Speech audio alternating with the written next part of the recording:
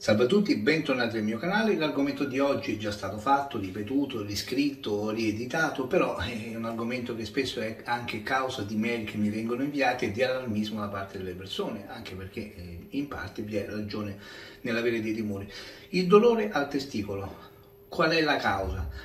Allora, non voglio semplificare, ma i pochi minuti di attenzione che abbiamo nei video mi obbligano a essere molto sintetico. Innanzitutto consideriamo l'organo, il testicolo. Il dolore può avvenire per una banale infiammazione, infezione di una piccola struttura che è l'epididimo, dove maturano gli spermatozoi che è collegato al testicolo e che può risentire di processi infiammatori infettivi della prostata. Voi direte che cosa c'entra adesso la prostata col testicolo? Il testicolo è collegato alla prostata attraverso il dotto deferente, tanto che il liquido seminale è composto da spermatozoi, testicolo, liquido prostatico e liquido delle vescicole seminali, quindi è un sistema interconnesso. È chiaro che una prostatite o vescicolite può dare quindi un dolore testicolare. Poi ci saranno delle caratteristiche specifiche per ognuna di queste patologie.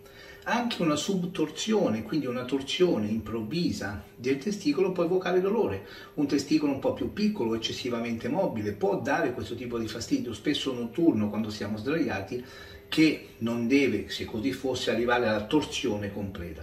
La torsione, dolore molto acuto da pronto soccorso, se non trattata, entro le 6-8 ore porterà un, chiamiamolo, soffocamento del testicolo che si torce sul suo asse non riceve più sangue arterioso e quindi va incontro proprio a una vera e propria necrosi, a un infarto testicolare. Ci sono poi dolori da varicocele.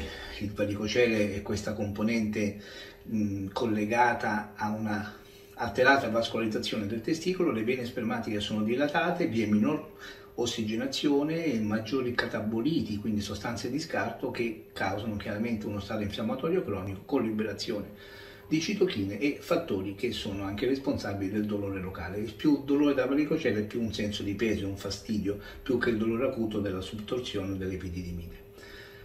Talvolta non si trova nulla di questo, allora dobbiamo un pochettino salire su quelle che sono le strutture collegate anatomicamente al testicolo. Una punta d'ernia nel canale inguinale può comprimere le fibre nervose che vanno chiaramente al testicolo, o anche una pubalgia spesso può essere cambiata, scambiata per un dolore urologico, come sofferenza delle fibre nervose sensitive che innervano il testicolo, qualche per esempio fibra periferica del nervo pudendo. E allora lì dobbiamo fare uno studio più alto, andiamo a studiare il bacino e la colonna, andiamo a cercare nei casi che non trovano soluzione, dove giriamo 3, 4, 5 specialisti, anche il percorso del nervo pudendo, magari è imprigionato no? a livello del forano otturatorio. Non entro nei meriti specialistici, ma insomma spesso queste strutture vanno a comprimere le fibre sensitive danno quelle sindromi del dolore pelvico cronico che si possono anche manifestare con un dolore testicolare.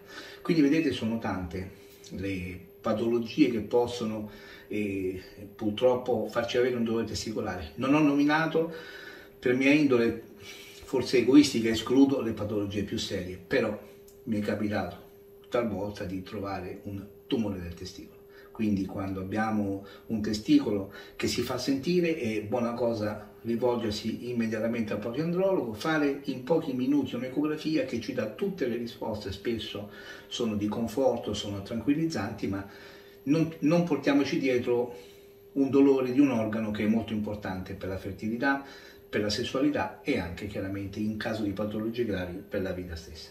Con questo vi saluto, auguro a tutti una buona, ottima giornata e ci vediamo al prossimo video.